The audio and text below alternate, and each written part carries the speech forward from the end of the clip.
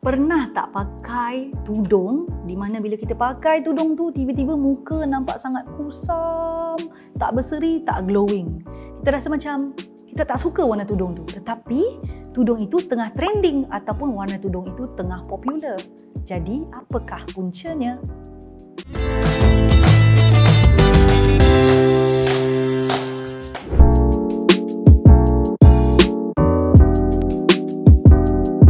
Warna tudung boleh buat wajah nampak kusam. Benar atau tidak?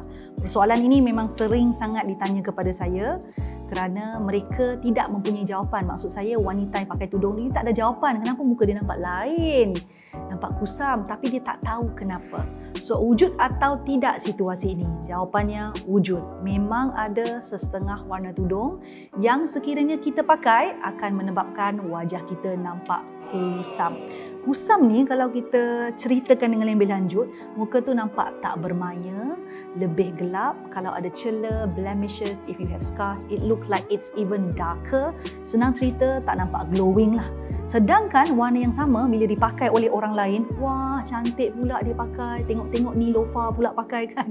Nilofa pakai, wah menyerlahnya. Kita pakai tudung tu, hup, terus nampak macam tak serupa Nilofa. Mungkin Nilo yang lain. Nilo tak fah. Uh-uh. Okey, lawak tak sampai. So hari ini kita bincangkan kenapa boleh berlaku keadaan di mana wajah kusam bila memakai tudung dengan warna tertentu. Pertama, sebab utamanya adalah kerana warna tudung tersebut tidak sesuai dengan warna kulit wajah. Baik, konsep ini kalau diceritakan dengan lebih mendalam mungkin bunyinya a little bit complicated untuk wanita ataupun sesiapa yang tidak mempelajari tentang analisa warna. Sebagai seorang perunding image, kami dilatih untuk memahami bahawa cara terbaik untuk memakai warna adalah padankan tona semula jadi kulit dengan warna yang seakan atau serasi atau mempunyai ciri-ciri yang sama dengan warna kulit tadi. So kita pilih warna tudung yang serasi dengan warna kulit itu dipendekkan ceritanya. Jadi proses untuk memahami teknik ini perlu melalui satu situasi atau satu tindakan yang dinamakan konsultasi warna ataupun analisa warna atau nama panjangnya Personal Natural Colouring Analysis. Yes. Dalam uh, personal natural colouring analysis, apa yang dibuat oleh perunding image yang bertauliah ialah biasanya akan menentukan warna yang mana sesuai dengan kulit kita ya warna-warna apa sesuai dengan kulit kita dengan tindakan pertama adalah menentukan warna kita sendiri. Jadi berkemungkinan besar selepas analisa tersebut kita mendapati kita adalah seorang yang berkulit cool ataupun orang yang tona warna kulitnya sejuk. Maka sesuailah pakai warna-warna yang bersifat sejuk seperti biru hijau purple contoh eh dan sekiranya selepas dianalisa didapati kita seorang yang warm maka sesuailah kita memakai warna-warna yang bersifat warm contoh kuning, merah, orange dan seumpamanya. Sekiranya kita salah pakai, sebagai contoh, kalau kita adalah seorang yang dianalisa sebagai cool, kita pakai warna warm, adalah kemungkinan untuk kita kelihatan kusam.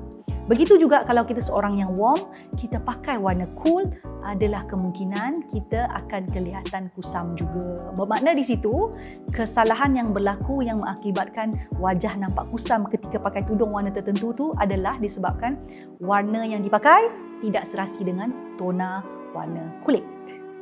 Kedua adalah punca yang memungkinkan kita kelihatan kusam ketika memakai warna tudung yang tertentu disebabkan oleh warna tudung tersebut agak terang, bersifat terang, very bold, very shocking color.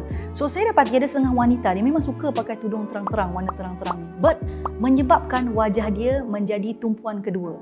So meaning that now the focus goes to the tudung not to the face, you see. So saya percaya apabila kita pakai tudung, kita mesti pastikan bukan tudung itu yang menjadi perhatian, wajah kita yang menjadi perhatian. Maka kita perlu pilih warna tudung yang janganlah terang sangat. Boleh pakai terang sekiranya sesuai dengan tona kulit, boleh pakai terang. Tetapi jangan pilih yang terlampau terang sangat. Warna yang terang ini akan menjadi perhatian, menyebabkan warna muka kita atau wajah kita ini tadi menjadi kusam dan bukan sebagai focal point. So that will be the second reason why certain color make your face, especially bila pakai tudung tu, look dull dan kusam. Ketiga, punca yang memungkinkan wajah kita kelihatan kusam ketika memakai tudung dengan warna tertentu juga boleh disebabkan bukan warna tudung, sebaliknya fabrik tudung tersebut. Yes. Sekiranya fabrik ni mempunyai unsur-unsur kilatan bling-bling dan atau dan atau ha, sebab dia boleh wujud dua-dua sekali. Fabrik itu mempunyai permukaan yang berkilat yang boleh memantulkan cahaya ha, memantulkan cahaya yang menyebabkan cahaya yang mungkin dipantulkan tu katalah warna kuning tudung tu dan berkilat permukaannya. So pantulan warna kuning tu ketara pergi pada muka. Menyekat muka kan jadi kusam lah.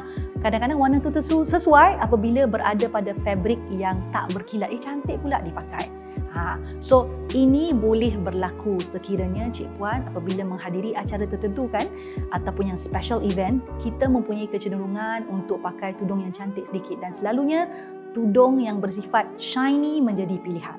Tetapi sayang sekali setengah tudung shiny digabungkan dengan warna tertentu boleh menjadikan wajah kusam. So check the fabric. Jadi, benar atau tidak benar warna tudung tertentu boleh menyebabkan wajah menjadi kusam?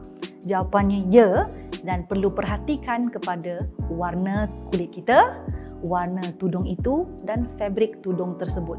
Cek semula bahagian-bahagian yang saya sebutkan ini supaya kita boleh tahu solution yang sesuai kerana akhirnya apabila kita memakai tudung, kita tak nak kelihatan kusam. Kita nak kelihatan berseri, glowing dan sudah tentu pretty.